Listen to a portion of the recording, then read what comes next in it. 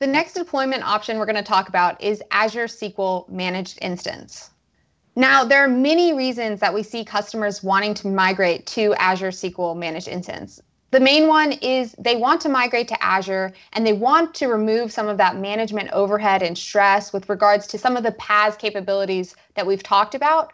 Um, but they might have restrictions. Maybe they need instance scoped features. And when we talk about instance scoped features, we really mean uh, features that are really scoped to the server as opposed to the database. And this includes things like Service Broker, SQL Server Agent, CLR, machine learning services. And so these are just a few of the reasons why we see customers, you know, moving towards Azure SQL Managed Instance.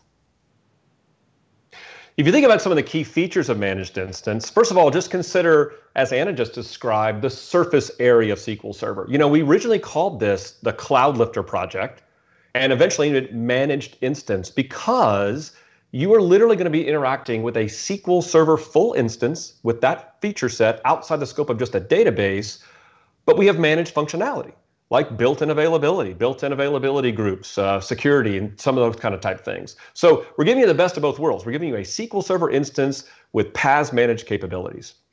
And there's some great differentiators. So first of all, one of the really amazing uh, aspects of using managed instance to help you get to the cloud is online migrations. We're going to use database backups and restores, and log shipping technology to allow you to do a fairly seamless online migration from your on premises environment.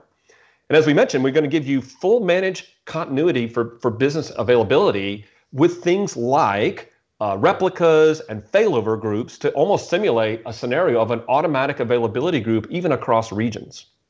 So if you think about managed instance overall, this is going to be the best of a SQL server that you're used to using we're going to manage underneath the infrastructure and the virtual machines, but you're going to you're going to go into Management Studio. And it's going to feel and look just like a SQL server. But again, behind the scenes with those great managed capabilities.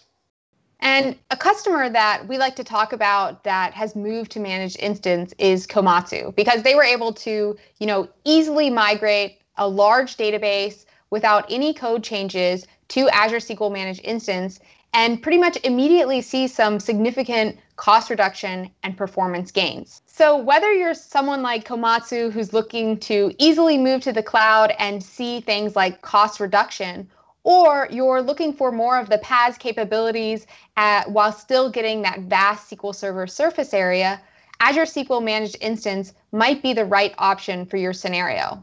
Stay tuned for the next video.